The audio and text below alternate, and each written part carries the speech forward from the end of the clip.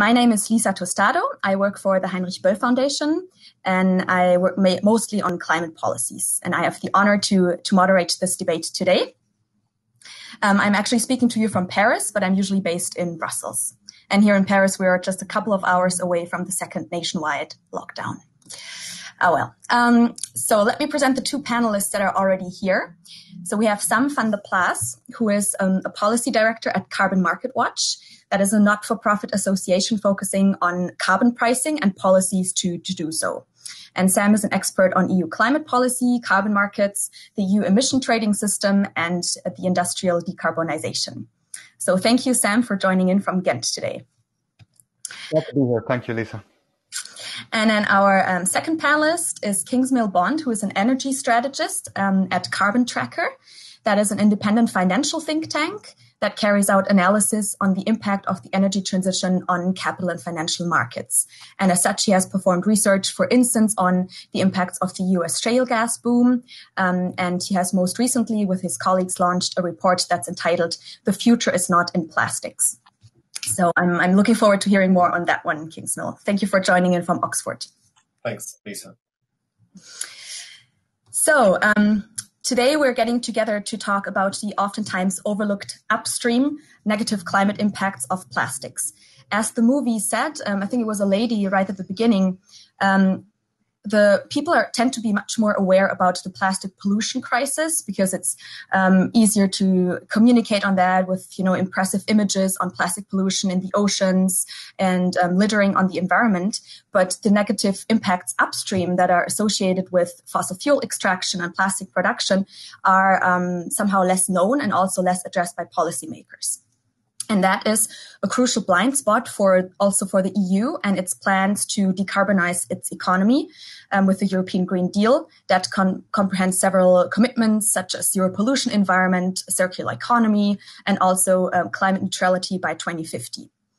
Um, today, Plastic production is mostly based on crude oil, which is called naphtha. But um, some players, as Dorothee just mentioned, such as Ineos, also started to use derivatives of fracked gas as feedstock. And the negative climate impacts are becoming more and more um, evident with new research. And um, to these ecological problems, um, we can add financial ones. And I think Kingsmill is going to talk more about that um, the fracking industry and also the oil and gas industry are facing facing um, tremendous financial problems, and they're now betting more and more on the petrochemical industry um, as, as, as a future factor for demand growth. And even that one is a very shaky and, and risky bet. Um, and all this is is um, happening at a time where we really need to tackle the climate and the plastic crisis both at the same time. Um, and yet new facilities are still being planned both in the US and in the EU. And we now want to talk about how that can go together with the European Green Deal. And we want to talk about these, these complex interlinkages between climate change and, um, and plastic production that are oftentimes overlooked. And we also want to talk about what kind of legislation we need to curb emissions from the sector, because unfortunately, virgin plastic production is not going to stop overnight either. And we also want to talk about policies um, that can stop, uh, that can help stop producing ever more virgin plastics. And I just see that Martin joined in. Sorry for being late. Uh, yeah, the ticket was missing.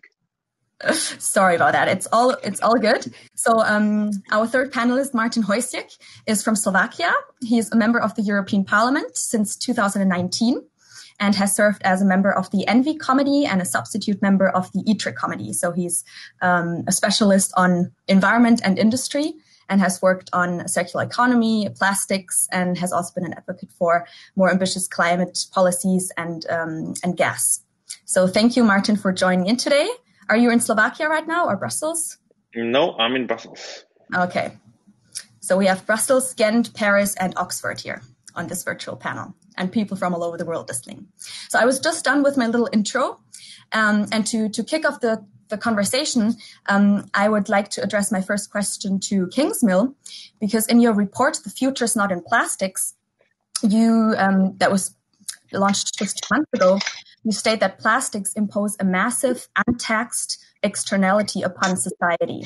Can you briefly explain what you meant by that? Why are there so many negative externalities attached to it, especially upstream, which is um, again uh, less known by a public?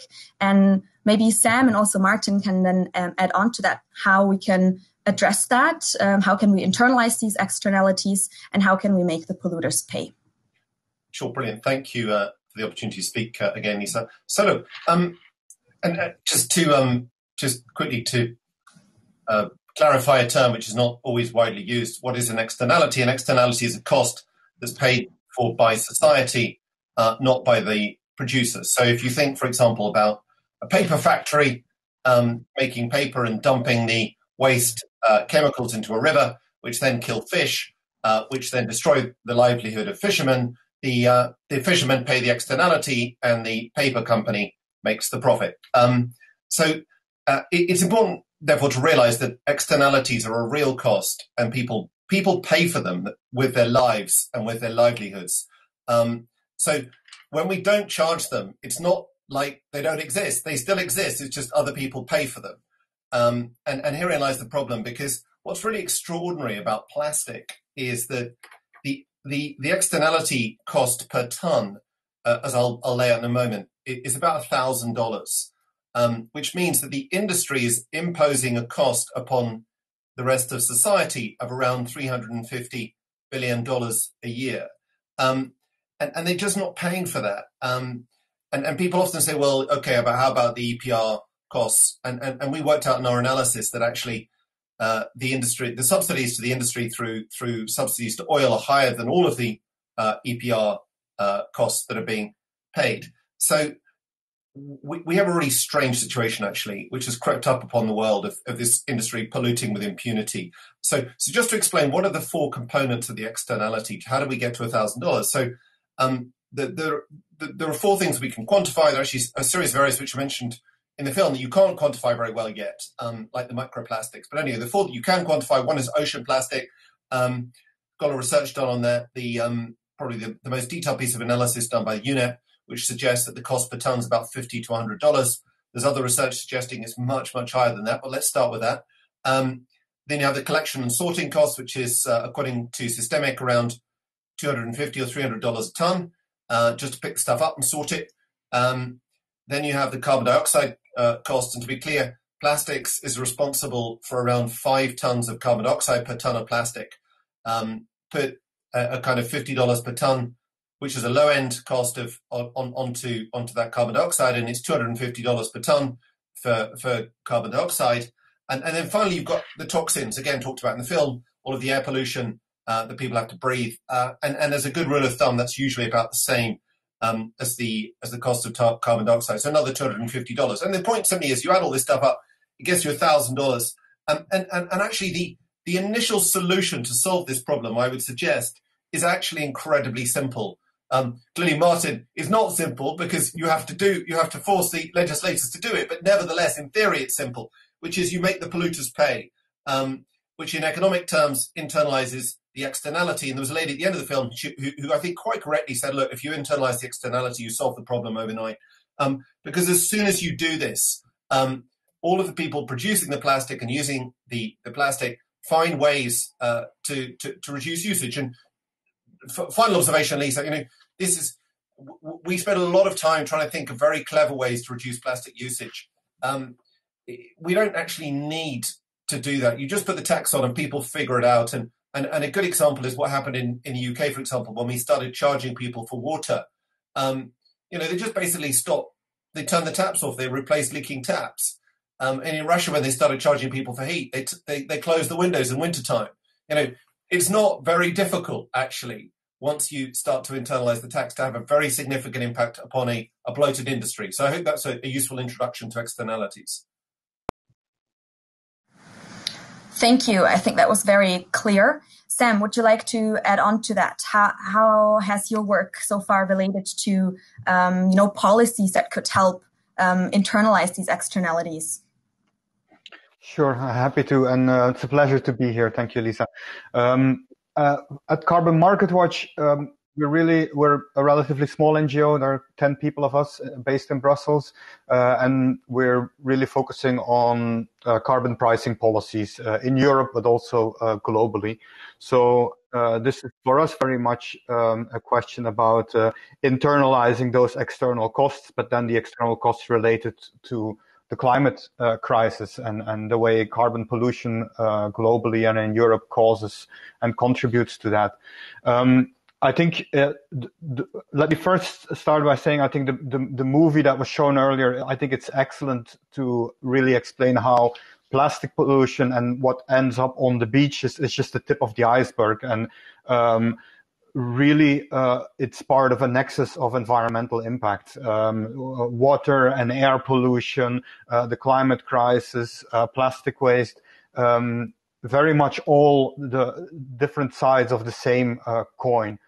And um, it comes at a very interesting time, especially, and I'll focus a bit on the European uh, agenda specifically right now, with the European Commission, uh, its Green Deal, uh, the goal of climate neutrality, uh, the prospect to uh, increase the European greenhouse gas emission reduction target to at least 55% by 2030. Um, these are steps in the right direction. They don't go far enough. Uh, that's slightly different debate, but uh, let's be clear that those goals need to be made stronger and more adequate to limit the crisis, climate crisis. It becomes now increasingly clear that all sectors, including the petrochemical and plastics uh, industry, will have to contribute. Um, and um, because climate neutrality means basically there's no place to hide uh, anymore.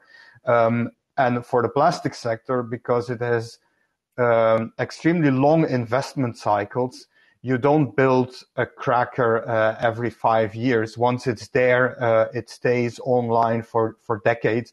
It means basically that uh, climate neutrality needs to start today. Um, so it's really important uh, that um, these sectors also uh, roll up their sleeves and uh, get to work. Because now coming to the issue of internalizing the external cost, uh, let's be very clear that the current uh, tools we have to do that in Europe, despite uh, a principle in the European Treaty which says that the polluters shall pay, uh, that this is uh, not respected at all when it comes to industrial decarbonization. And I mean industrial decarbonization when I talk about steel, cement, but also, and here the, the petrochemical sector. Those sectors have not reduced their emissions for at least the past eight years. Since 2012, uh, it's a flat line of greenhouse gas pollution, despite all the climate goals, despite the climate crisis, and despite having the EU ETS uh, emissions trading system in place uh, in Europe. And this is no surprise because more than 90% of all the carbon pollution from those sectors has no price tag attached to it. There is a massive handout of free emission allowances under the ETS, um, which is basically, uh, I think, a hidden scandal of European uh, climate policy making. And it's something that needs to be corrected if we are serious about solving the problems which were so which were shown uh, in in the movies. Yes, thank you. I think we will come back to the ETS because it's quite an important uh, uh, issue, and it's also, as of now, basically only tool that the EU has been using to decarbonize. Um, and, and, and right now they're looking into other tools as well with the very, well, with a, an ambitious goal of decarbonizing um, rapidly now. Um, I would like to, to come to Martin now and also I'm um, looking at the chat, there were questions about, um, well, first of all, taxes alone will probably not help. Um, and Kingsmill has already responded to, partly, at least, to that question. But maybe Martin, you also want to um, to say something about that uh, when it comes to decarbonizing the, the, petrochemical sector in Europe. What helps? Um, what are your ideas? What is the European Parliament discussing right now? And a second question um, would be about uh, a very topical and a timely thing, which is the uh, new Ineos plant being um, being built or being planned at least at the at the port of Antwerp that actually relies on these very problematic supply chains that we have um, seen in the movie. Um, so derivatives of shale gas. Uh, from the US um, LNG imported to Europe and then transformed into new virgin plastics at a time where you know the EU, the EU has actually committed to reduce both its greenhouse gas emissions and um, and plastics. So, um, Martin, what, what's your stance on that, please?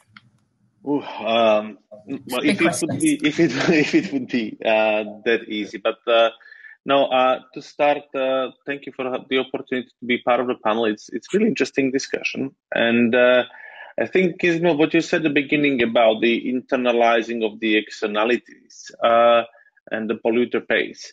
We have uh, lots of bold words uh, in legislation, and certainly often like also then kind of how to get it into practice. And also the free handouts are, are something of, of, the, of an example in this where uh, what one hears from at least parts, not, not all of the industry, is uh, please give us the carbon border adjustments, but free continue with the free handout. It kind of handouts doesn't really work together. Um, I think what is crucial here uh, is beyond trying to find a way how to bring in the external cost. And there's been attempt, for example, uh, and I'm a big fan of extended producer responsibility, trying to find a way how to incorporate the entire life cycle and individualize it, at least on the financial level. So we don't have to have physically separate infrastructure, but there is a differentiation which would enable uh, kind of the driver for change to be on per company basis and therefore kind of use the, also the market forces uh, to drive the innovation. I think what we need to look at, and that's an interesting aspect here, is this is in some ways a lot of climate problem and a pollution problem, but the solution is in a circular economy. This is where, in some ways, what we need to look at is how we manage the materials. And I'm kind of I have an ambivalent relationship with plastics, uh, as with almost everything else. It's you know it's a it's a good servant, but a, but a very bad lord, as we say in Slovak. And my rough translation of this saying is, and right now we are ruled by plastic rather than the plastic is serving us, uh, and that's because we ended up in a linear model. Now, one of the challenges that we face in a, in a short term is and then what I see in the last days, weeks, is an attempt to undermine the kind of the push for move to a circular economy by the incineration industry, which under the disguise of energy recovery is saying, hey, you know, burning all this waste and is uh, re- and recover and taking energy from it is renewable, it's circular, it's good. Um, honestly, it's not. It's creating fossil-based CO2 emissions it's uh, wasting valuable resources if you burn the organic waste, which contains the nutrients that belong back to soil, and actually relies lots on the plastic to be burned to provide the fuel, which is a fossil carbon. And I think this is something where we have to watch very closely what the Commission, and I haven't seen yet in detail the leak that came out today on the delegated act on the taxonomy, on the mitigation, I hope that uh, the incineration hasn't, lobby hasn't succeeded to put itself into that. We are trying to exclude uh, the incineration uh, as as a way of dealing with uh, as a potential green investment. Uh, so we need to push for very clear prioritization and kind of using of the waste hierarchy in a legal way, which will, I think, be important component in motiva- motivation for the industry to look uh, for closed loop systems. So we, you know, and in the discussion whether it's going to be to some extent fossil based or whether it can be based in terms of a plastic now, I mean, or it can be fully based uh, or to large extent based on uh, bio based plastic.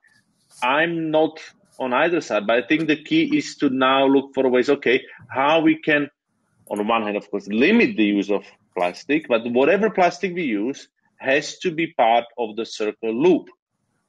It's nice that you see here in Brussels. I, moved a few months ago to Brussels to avoid commuting, and uh, it's nice if you see that you know if you buy something in IKEA and you have on it special designation. This is the type of plastic. Where here everything but the PET uh, and uh, Tetra Pak goes to incineration.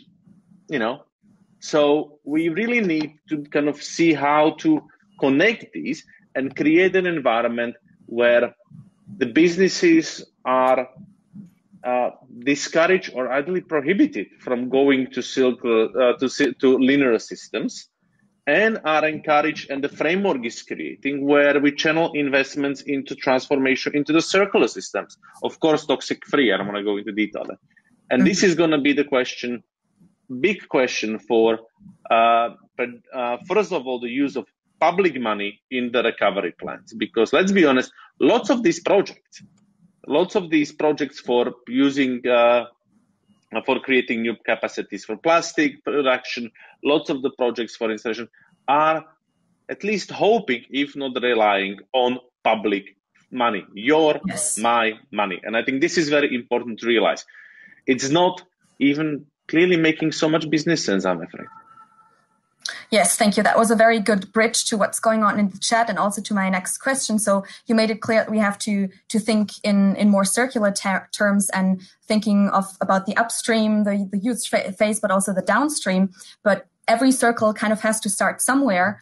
Um, and um, that brings me to that question, that big question of stranded assets. So we briefly mentioned the um, INEOS plant relying on that frack gas to produce more virgin plastics that is in the stage of being planned right now. Um, and uh, Kingsmill, you wrote in the chat that it is likely to to end up as a stranded asset as well. And in your uh, report, you also make the argument, the financial argument, that the uh, oil industry is pinning its hope on strong plastics demand growth, um, but you don't think that this will materialize because the, the EU and also other, other countries in the world uh, start to really tackle the problem of plastic waste and also act on climate change. And in your report, you're predicting um, a plastic, uh, virgin plastic demand peaking in 2027. So there is a stark contrast, you know, between um, these hopes of the of the incumbents and that bet on on demand growth um, and at the same time that need to to stop production. So unless this is stopped, we that will result in continued low prices and stranded assets, as you said. So can you develop a little bit further? How did we even get ourselves into that situation where we are still like planning plans that don't even make economic sense? How did we get there?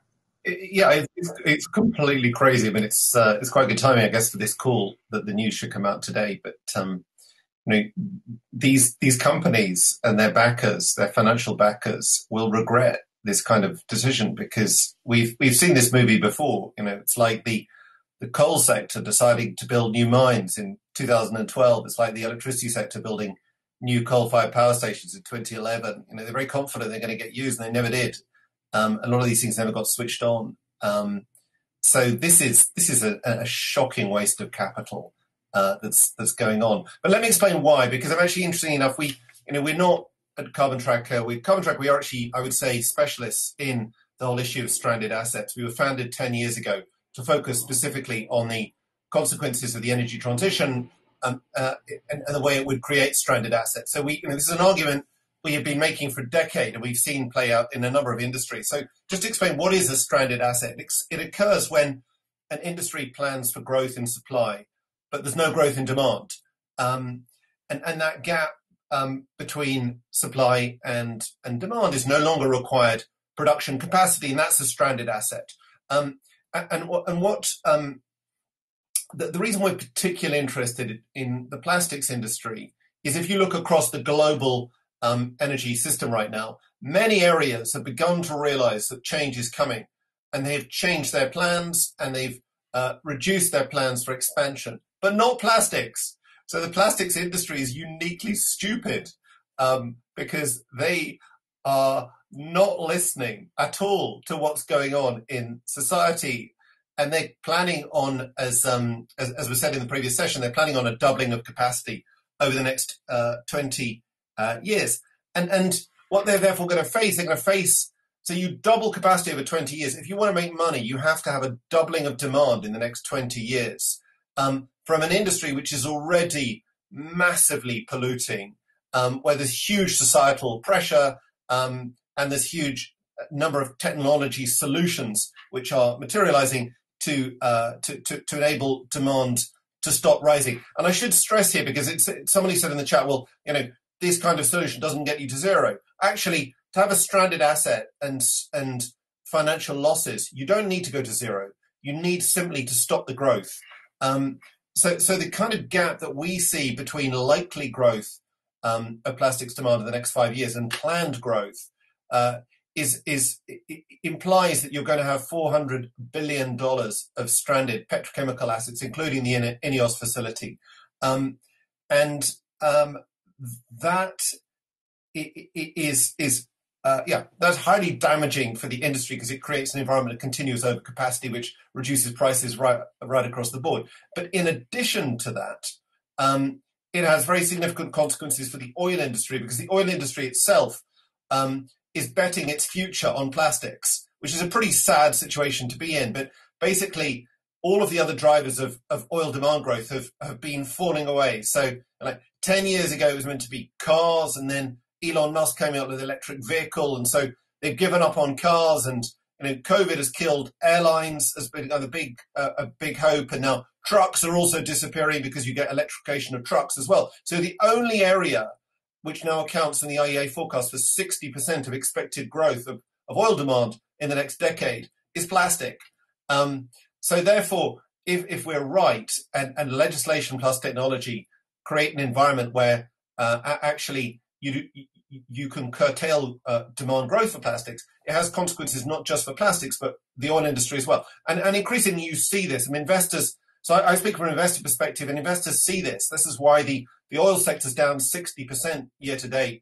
Um, and, and, and, this is why uh, y- you've seen really uh, devastating impact on, on many of the uh, uh, fossil fuel uh, companies as people begin to wake up to it. I think they're now starting to wake up to it in plastics as well.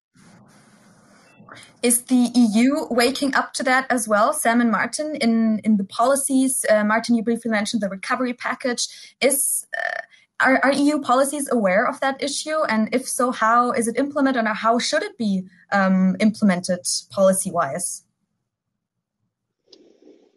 Good question. Um, to some extent, it's it's still yet to be to be seen if we have woken up, uh, and I think this is something where, you know, uh, and uh, and again uh, said it quite right. It's the risk of stranded assets here and the kind of the the attempts to um, rescue the oil industry uh, or to rescue themselves from the oil industry are for me reminiscent almost of the you know, uh, horse carriage industry 100 years ago, uh, when within the 50, when, when they were dismissing at the very beginning, let's look at it.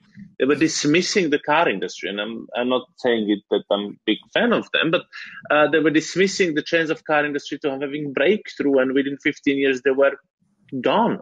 Um, what we're facing right now, um, it's really time of, of disruption. Uh, what the mobile phones cost to, a number of sectors and the growth of internet, number of sectors from uh, you know not just the, the, rental of DVDs, but to from that to banking to transportation to everything else is in some ways now starting, and I think this is uh, not only from the point of view of uh, you know ensuring the our survival as a species and and survival on the life of this planet, which are very much the core of my values, but even purely economically, I think, especially in terms of using public resources, it's essential that we really wake up to this. Um, and I'm looking forward to see what's going to come out in terms of implementation of the circular economy strategy, uh, uh, circular economy action plan from the Commission, uh, because this is going to have big implications for it. Because it's this uh, hidden carbon in the plastics that is going to then end up, uh, so to say, laying around and, and lurking around. And um, we will still have to see, of course, if uh, we will be able to wake up as, as legislators, if we'll be able to see that as, as policymakers. I, I very much hope so. I'm, you know, uh, hoping to do my best to change it. Um, but this is something also where I would be happy to see and, and talk uh, with the industry, with the chemical and petrochemical industry, because ultimately uh, it's about their own survival. You know, you see now what we face in, in the car industry, where we saw for years the European car industry blocking uh, the kind of the push for cleaner transportation. Uh, the end result is that we have to put billions of European taxpayers' euros uh, into battery alliances, building up kind of a, a, a zero pollution trans, uh, transportation systems, uh, and almost kind of rescuing them because you know they've been overtaken by China and uh, Elon Musk, and I think this is what we can potentially face, and this is where we are at the start of the disruption. And this is where the European chemicals industry and especially the petrochemicals which are involved in plastic um, should wake up because they will go bankrupt. Uh, and yes, they can help to pull the rest of us and the civilization down with themselves, but that's hopefully we will manage to prevent that. But in the process, um, yeah, it's going to cost lots of jobs uh, and then massive losses. So uh, I think it's also about having the you know investments moving in the right direction and having the um, uh, public money moving in the right direction. These are going to be very very crucial elements, and that's where I believe in taxonomy and really trying to channel the money in into the right place. Yes, thank you. So you mentioned the the taxonomy, and I would like to. Um, kind of play the question back to Sam as well, who's um, very knowledgeable uh, on EU policies to tackle uh, emissions as well. So, what is the role of the petrochemical industry currently and maybe in the future um, when it comes to tools that EU can use to tackle emissions, such as the European emission, emission trading system, but also the um, uh, Industrial Emissions Directive, uh, which as of now does not include greenhouse gas emissions, but maybe um, you can elaborate a little bit on that. Um, how does how is the EU how is the petrochemical industry in the EU integrated in climate policies? And if you have knowledge on that, maybe you can also say something about the methane strategy. Yes, thanks. Um, not sure if I will say a lot about the methane strategy, but for the rest, let me start by agreeing uh, strongly with what Martin just said uh, on on the need to get investments uh, in the right direction. Um, this is also a story of getting clean technologies off the ground in the right time frame and this is urgent but at the same time we need to realize there are lots of hidden subsidies to pollute still handed out to these sectors. And it's also a no-brainer that this should end uh, in europe. Um, what i'm talking about specifically um, is uh, again the role of the free emission allowances under the European emissions trading system.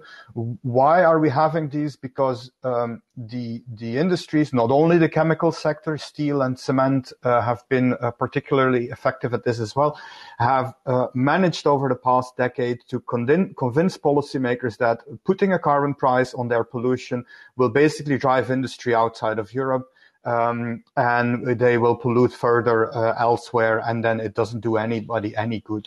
Uh, over and over again, uh, researchers, um, analysis uh, has, has shown that this is not the case. Carbon leakage, by and large, has been a myth under European climate policies. Currently, it is not taking place at all. There is no detectable evidence uh, of this, um, but yet it continues to happen at massive scale. The um, European uh, emissions trading system foresees that after, as of next year until 2030, 6.3 billion tons of CO2 will be basically handed out in the shape of free emission allowances to these industrial sectors. The monetary value of that is 165 billion euros over the decade that's your incentive to pollute for free, basically, uh, including for the plastics and petrochemical sector. Now, and adding insult to, to injury is that last month, the, the European Commission uh, adopted uh, guidelines for state aid for so-called indirect cost compensation. basically, this is for electro-intensive industry. So also um, the petrochemical industry consumes lots of electricity. Um, as the electricity prices include uh, a component of carbon pricing as well right now, uh, those industries have managed to get back on a list for state aid um, rules and member states, uh, again, in the coming at least five years, possibly another decade, can give uh, subsidies to the industrial sectors. There are no strings attached. Uh, there, there are limits on the maximum amount of aid, but uh, it's very generous. It will not lead to further greenhouse gas emission reductions. So if we don't manage to phase out those things um, very rapidly, uh, then uh, you can throw all the good, uh, clean innovation money after and finance after the sector that you want, but then the incumbents will have no incentive to de- to decrease their their pollution going forward. Um, and that's really problematic because I, I, can I can see a space where uh, also the chemical uh, industry contributes to those climate goals. I mean, we have to be also uh, honest in that that to some extent it will be impossible to do it without chemicals. If we talk about wind turbines, batteries, electric motors, solar panels, etc., et you need a lot of those products from from the sector, but um, it's no excuse to continue business as usual, uh, and you need better plans uh, and investments that will eventually lead to to to deep reductions and climate neutrality uh, in the sector, and let me uh, finish by saying um, I fully agree. Carbon pricing or emissions trading there is not going to be a silver bullet. Um, it helps in the sense that it, uh, if it's if it's successful to put a price on pollution, you have that signal throughout the economy, um, and um, markets are pretty good at finding the cheapest emission reduction options underneath. In the power sector, we've seen specifically that this has been successful because it's been complemented by other policy instruments. There are energy saving targets uh, in Europe. There are binding renewable energy targets. Some member states have implemented carbon floor pricing uh, in parallel with the EU ETS. And then you have support schemes for renewable energies. For the petrochemical sector and energy intensive industries, we will need to get a lot smarter as well in having multiple instruments working in parallel with uh, full carbon pricing for uh, the sector. And this is, again, it's about innovation funding, but also what you mentioned, for example, these are the Industrial Emissions Directive, um, which deals with a lot of um, air quality parameters currently for industrial sectors. The Industrial Emissions Directive has a provision included in the legislation that basically disallows member states from regulating greenhouse gas pollutions through the industrial emissions directive. So if a company asks for an environmental permit uh, in a member state, then the member state, because there is a European emissions trading system, the member state cannot say, well, you should, here are some extra rules you should apply on, uh, on your carbon pollution. Now that's unacceptable. Those are things from the past. And as the Industrial Emissions Directive is going to be reviewed in the coming year, uh, this needs to be uh, corrected. Um, and then there are other things. I really think the circular economy agenda is, is, is critical as well, um, because basically the best plastic we can have uh, in, in Europe uh, and in the world is the plastic we don't use. Uh, this is the most environmental friendly uh, way going forward. Yes, thank you. That's also um, very important to remember. And Martin, um, you also briefly mentioned the hierarchy um, of, of waste that the, the plastic that's never produced is the best plastic that we can have. Um, so Sam, you, you mentioned a mix of, of instruments that we have and that we need to use in parallel. And in the chat, um, the question also popped up about um, a possible carbon border adjustment. Um, that's a very hotly debated topic right now and in the pipeline at the Commission. Um, and we also have the um, methane strategy that could, um, you know, pick at least some low hanging fruits because a lot of Im- methane emissions that are associated with um, uh, shale gas, but also like uh, fossil fuel extraction along or plastic production along the entire supply chain could be avoided at more or less no uh, additional costs for the industry, um, venting and leakage, etc. Uh, so Martin or Kingsmill, um, any thoughts on the carbon border adjustment and the methane strategy and um, the potential to, to cut on emissions along the life cycle and upstream of plastics? I, I defer to the parliamentarian. Um, I'm happy to talk about carbon taxes myself. Uh, the hot potato has been uh, passed and lands in my lap. Um, the the carbon border adjustment, uh, I think it's important, uh, and for me, this is uh, not about just carbon pricing and, and all these things. It's ultimately about um, the question of of fairness and justice.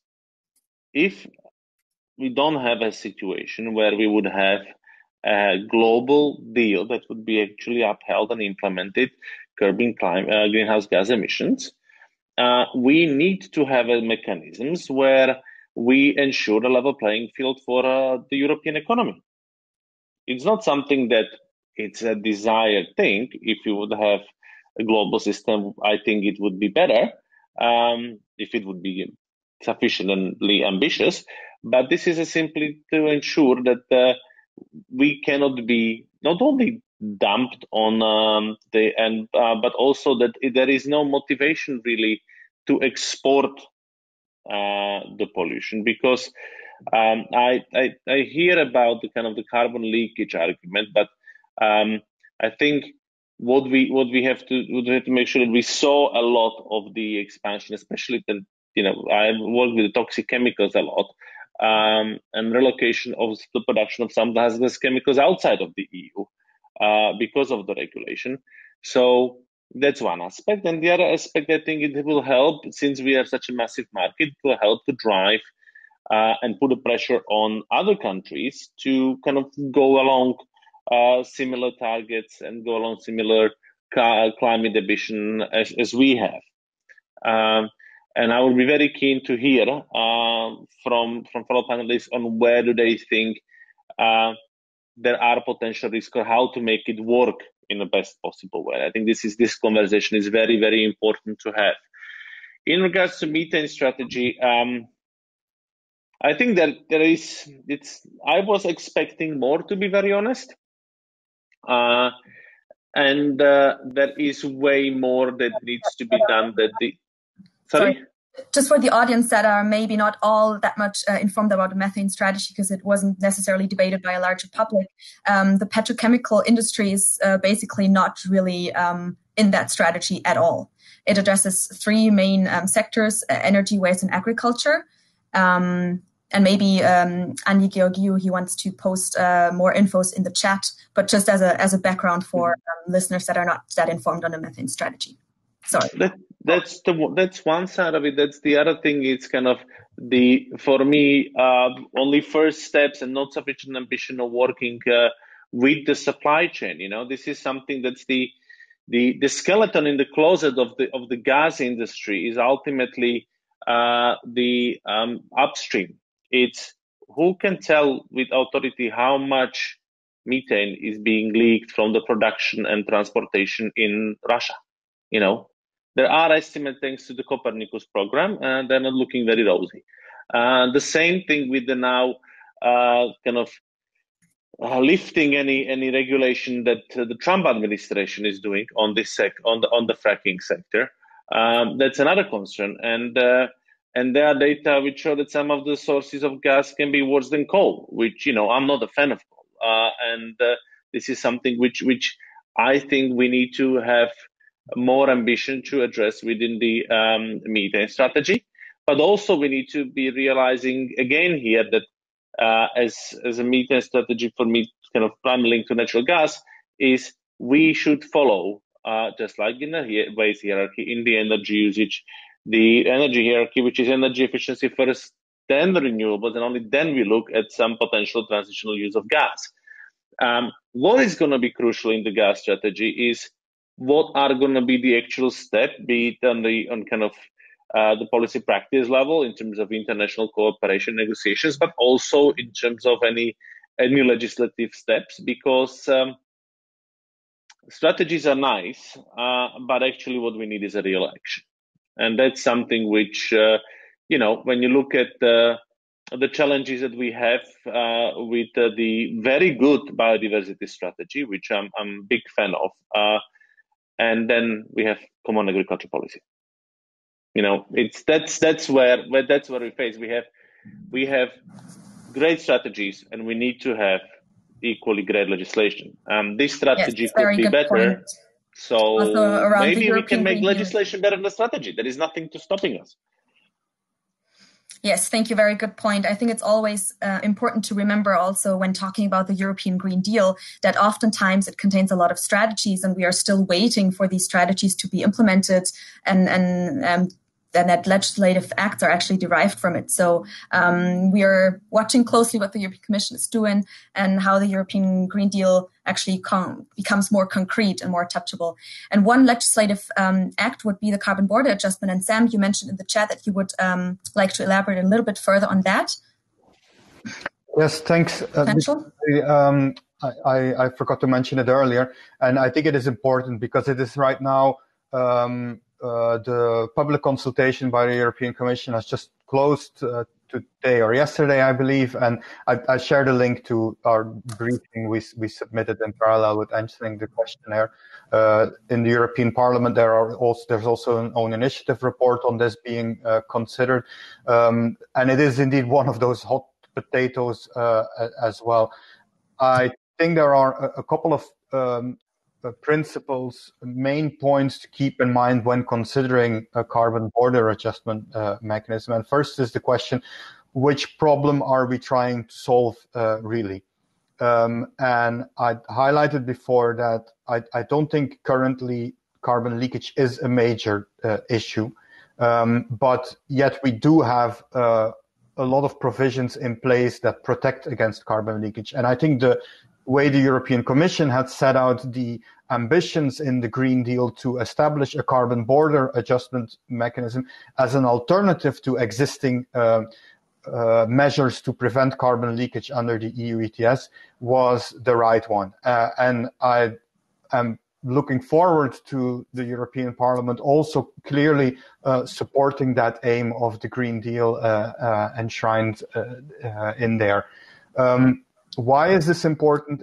Because we cannot allow these industries to continue to a pollute for free inside Europe and then b at the same time be protected against um, uh, imports coming from from elsewhere. You you need to you do it either or, but you cannot have have it both ways. Um, and a second component is that um, we believe a carbon border adjustment mechanism should really serve to decrease pollution further in Europe, but also inspire the rest of the world to follow suit. Um, and this means you need to be smart in the way you design it. Um, if it's a if it's a very blunt instrument based on average uh, carbon performance parameters, um, it's not going to incentivize um, importers of these materials into Europe to uh, move to cleaner production uh, routes. And, and therefore, and it, I think it is going to be a, a, big challenge. This will take a while, but therefore you really need to make sure um, Europe also gets a clear understanding of what is the carbon footprint of different uh, imports depending on where they come from and where they are produced. Um, so it needs to be a granular system. Um, and then last but not least, uh, a, a, lot of industrial sectors are currently also in Europe are also asking that they would be that the exports would be exempted from the carbon border adjustment mechanism, basically giving them a rebate as soon as the goods are exported outside of Europe. Uh, also, this would blunt and it would mute the carbon price signal. Uh, it could even lead to a perverse incentive where basically the most uh, polluting uh, installations in Europe uh, are choosing to export their goods because then they would get rebated and don't have to uh, carry any of the carbon costs anymore. Um, so there's lots of uh, devilish details uh, underneath in there. I, I, shared a link to our paper, which has 10 principles outlined and a lot more detail in there. But this is this is going to be important um, not only for steel, cement, um, but also for the petrochemical sector. It's um, definitely worthwhile to consider it in uh, in more detail. Thanks. Lisa, may I, may I bring yes. in the the global perspective on this because um, you know, there is there is an elephant in the room, or an elephant we hope no longer in the room after Tuesday. So you know, exactly, I was just about to ask you actually because we are we only have like seven and a half minutes left, and I did want to ask you about the potential outcome of the election, how that might you know ha- impact global gas and, and markets and petrochemical industries in the US and here. Just, but, but, with relation to this carbon border adjustment tax, I mean, you know, at the moment, the big impediment to change is the current Trump administration because you, you know, within the last month, you've had the Chinese basically say they want to have net zero by 2060. Um, you've got Japan, you've got Korea, you've got Europe. Um, if on, you know, after Tuesday we get America as well, and then then we'll, we'll have um, all, all, of the world's leading countries searching for solutions to get to net zero by the middle of the middle of the century.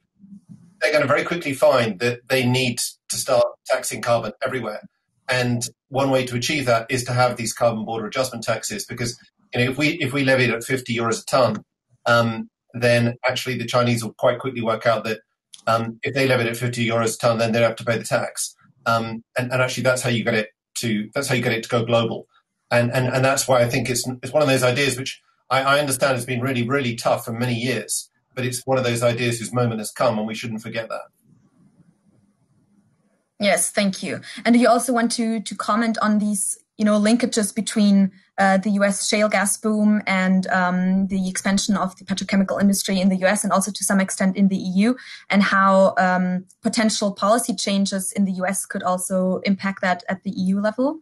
Yeah, it's really significant because I mean, as, as, as again has been mentioned, uh, the, the, the growth in petrochemical supply, a large part of it comes from all of, all of this U.S. shale gas, which is looking for profitable um, areas to go, and and therefore, once you get you know a, a, an administration that actually cares about the health of its people a little bit um, and starts to curtail it, then you're going to have um, uh, you'll, sorry, you'll have consequences uh, from that.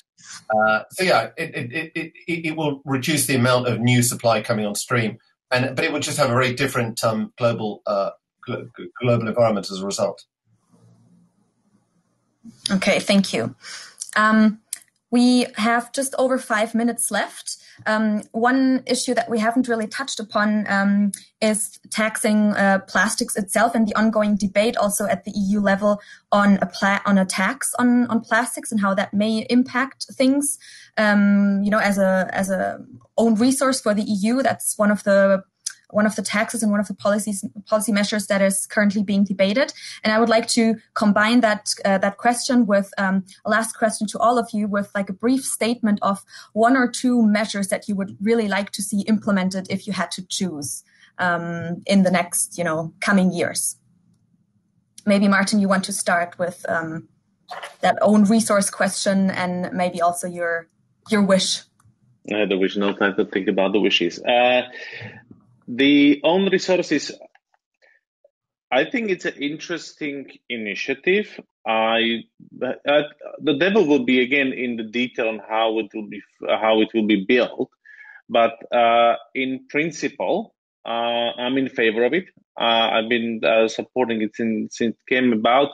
I think it's important also. It's kind of it's seen as a progressive. The more you recycle, the less you pay the trick here will be, and that's why I'm saying the detail, because you know uh, we sometimes think that we recycle a lot in Europe, but actually we are able to collect quite a bit, but then we don't know how to recycle it, and we used. Uh, in the past years, until they stopped it to ship it to China, and China stopped, and then we shipped it uh, to Southeast Asia.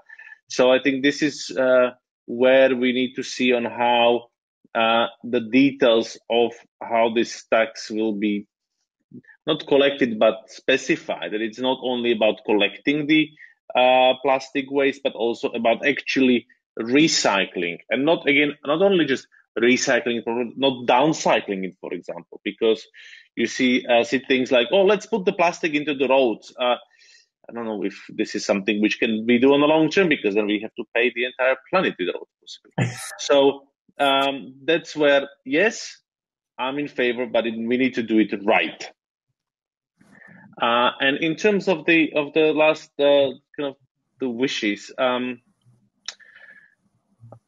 I think that uh, or my my big wish is that uh, uh, the policymakers and businesses alike, I think I'm less concerned actually about the public, uh, finally wake up to the fact that we are facing a major disruption. And I'm not talking only about the, the kind of the impending really climate disaster. I'm talking about the major breakthroughs that we have in terms of uh, technology and what we can actually achieve now. And uh, for the sake of themselves, but also us all uh, as a society, try to fundamentally rethink the way we do business and we run economy. I think this is incredible opportunity we have on our hands. It's not about the cost. It's actually about how much money we can make out of this. Even if I can appeal this way to, you know, kind of the profit seeking entrepreneurs, I think this is where we can turn it into something good. And let's not lose this opportunity because, uh, yeah, um, well, I can talk for my children; they will not forgive. Yes, thank you. I also I, I, I, think it's also an employment argument to make here, right? In the in the time of crisis, when we rethink the economy and, and reuse systems and refill systems, etc. So sorry, we're running out of time. Uh, Sam, please a short statement on like your most wishful um, thinking. Yes, thanks. Um, from a carbon market perspective, um, the main thing to do is to phase out all free emission allowances under the European emissions trading system and instead move to a system of 100% auctioning of uh, the emission allowances. And the benefit of doing that would not only mean that you actually pay a price for your pollution, but the revenues can and should be smartly reinvested into climate solutions. And then I think even the plastics and petrochemical sector could get a share of this uh, and to help them decarbonize further. Uh, but continuing to allow them to pollute for free is uh, unacceptable if we're aiming for climate neutrality. Thank you. That was very clear. And now Kingsmill. And if you feel more comfortable, you can also use that like as an elevator pitch for um, investors. Um, you can choose whether you want to talk about policies or the main arguments for investors. Well, just very quickly on policy, uh, to echo the um, the excellent comments of my two fellow panelists, which is that we should be taxing um, plastic uh, production at source with no with no exceptions, and that's it. And and particularly now that um, policymakers have more power, uh, they should just do it and and stop. Um, uh, I guess listening to special interests. Just that's what government is for, is to, to, tax externalities. And, and as for investors, you know, we, we've very clearly been saying to investors that if they invest in the expansion of industry plants about are, my elevator pitch. Thank you so much. I don't know if that ends automatically. Okay, no, it doesn't. It just says minus two now. Um, thank you so much for having been so clear. Thank you for your time, for joining in. And um, we will now, I will now briefly uh, wrap up in the next session, but um, I don't think that you will be on stage. So uh, really a warm, warm thank you to all of you. And um, I again invite our audience to check out the, the Futures Not in Plastics report, the briefings of Carbon Market Watch, and um, all the good resources that were posted in the chat. So see you in the next session. Thank you so much.